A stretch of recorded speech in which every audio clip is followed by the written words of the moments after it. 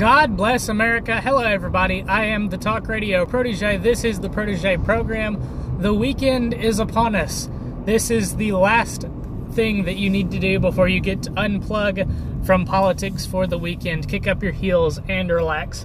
So hang on tight. It's going to be an interesting ride. We have a column here, an opinion piece from the New York Times, of all places, titled, If We Silence Hate Speech, Will We Silence Resistance? And uh, you you guys tell me reading through this piece it seems to me that the author is extremely conflicted.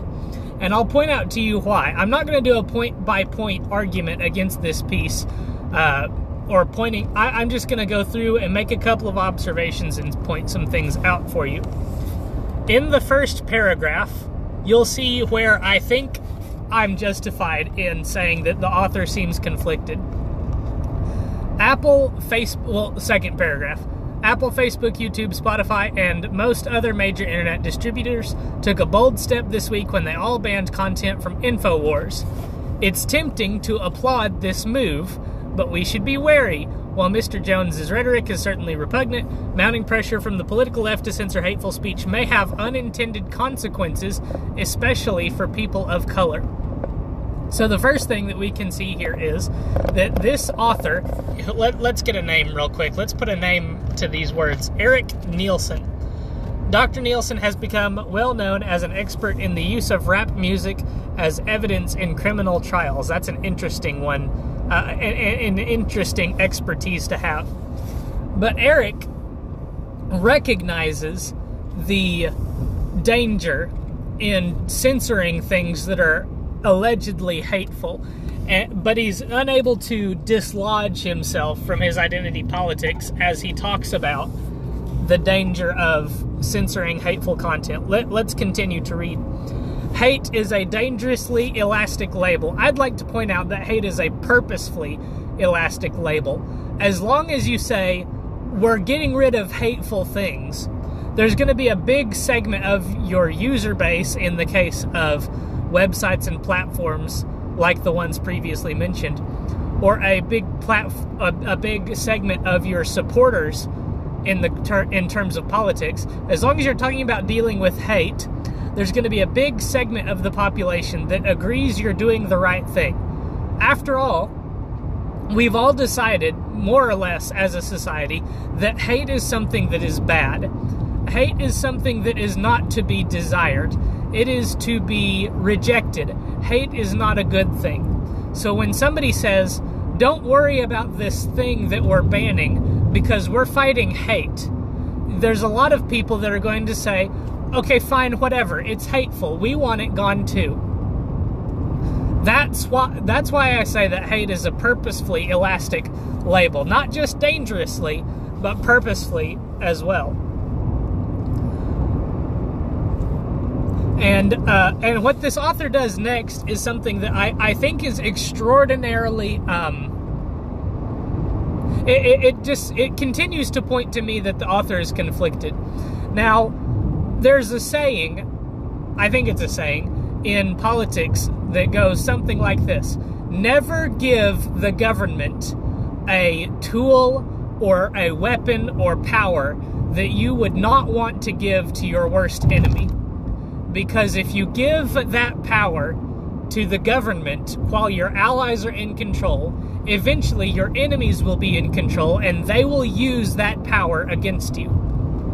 For instance, we, let's talk about this censor, censor, excuse me, censorship stuff that is going on. Today, it's the right wing that's being censored. Today, it's Alex Jones that's getting banned off of these platforms. But what if tomorrow the right wing takes control of YouTube and decides that everything that Black Lives Matter has ever said is hateful, and we're going to ban everybody that it, that sympathizes with Black Lives Matter from YouTube. That would be a bad thing. I will be the first to say that outright banning Black Lives Matter from YouTube and labeling them as hateful would be a bad thing. It would it, it would uh, obviously not be good. It would be, uh, it would not be a free, uh, a, a uh, decision made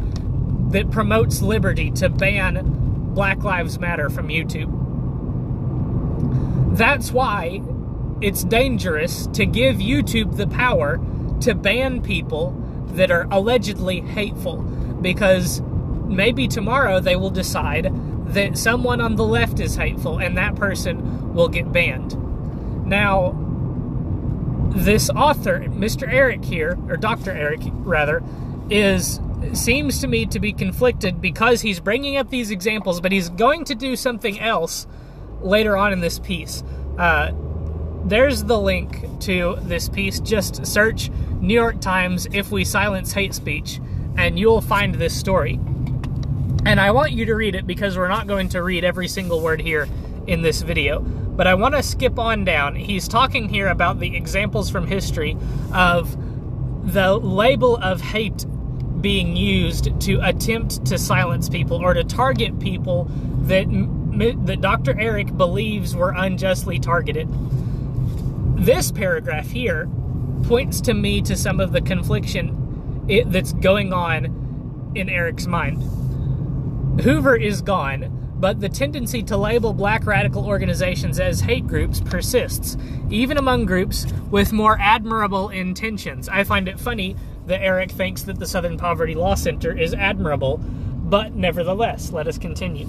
Which tracks extremist and hate organizations across the country, makes the dubious claim that nearly 25% of the 954 hate groups they follow are black nationalist groups.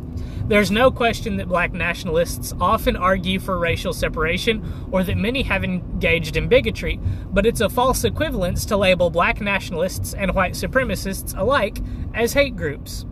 Now, why, Dr. Erik, why is that a false equivalence? Doing so ignores the centuries of racial terror that give rise to black that gave rise to black nationalism as well as the power imbalance that keeps it alive. So, black people hating white people is justified because in the past, white people hated black people. That is Dr. Erik's, that's the conflict going on in Dr. Erik's mind. He's laying it out on paper for us. Now, I don't have the dictionary right in front of me, but if I'm not mistaken, um, hate does not have history involved in its definition.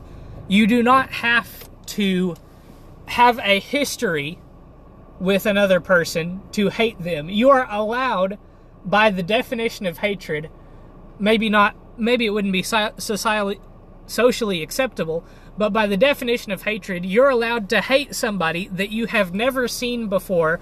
You're allowed to hate somebody that you have never met before. You're allowed to hate somebody whom whose existence you may not even be aware of. So hatred is independent of historical context.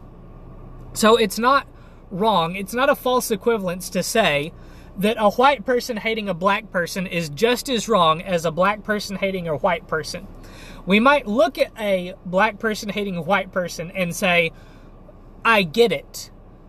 But it's not wrong to say that both of these people are wrong in their hatred. It's not a false equivalence. And I think that's all that, that that's painting some of the illustration, some of the uh, conflict that's going on in, in Dr. Erik's mind. Let's keep going. Uh, another example that he wants to present us is the boycott, divestment, and sanctions movement. And just briefly here, I want to point out how unfortunate it is. Like, how little forethought did you have to put into the name of your movement, such that when you put the acronym together, it's the same as a very taboo sexual practice? Um, let's see. There there was there there was some more that I wanted to point out. I don't want to get to dig too deep into the specifics here because it's the overall uh, theme of the piece that I want to focus on. Um, let us continue to look here.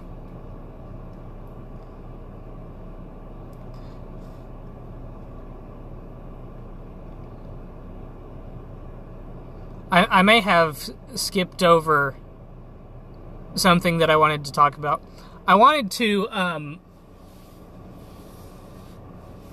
man, it, it just skipped my mind. Uh, let, let's continue to look here. We're, we're right at the end of the column. And I want to look here at this, uh, at these last two lines. That's the inherent danger in attempting to limit something like hate.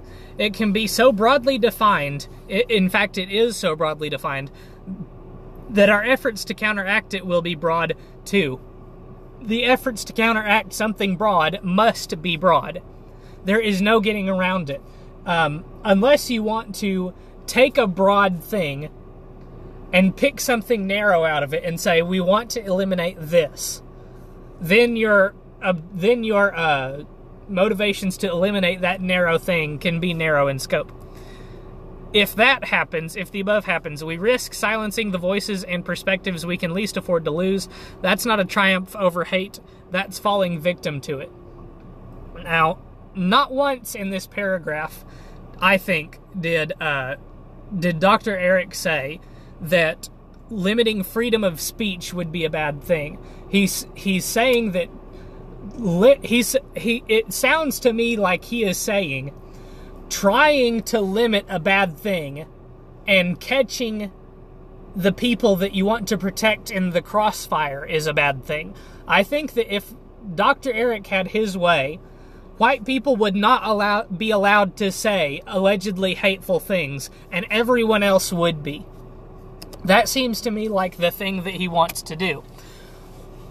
Which is a strange hypocrisy in and of itself. Which is why I think you can see a lot of the conflict that's going on in his mind as he writes this piece. Because he desperately wants for right wing alleged hatred to be shut down. But he doesn't want any of the selected protected groups to get caught in the crossfire. So, a uh, little bit of a nebulous, a, a little bit of a more um, nebulous piece that we've covered here today. But let me know what your thoughts are in the comments down below. If you enjoyed this video, leave a like. If you want to see more like it, hit subscribe and hit the bell for notifications so that you don't miss future videos. Uh, make sure that you check back on Monday for a new report. Until then, have a good night and a great weekend, and God bless.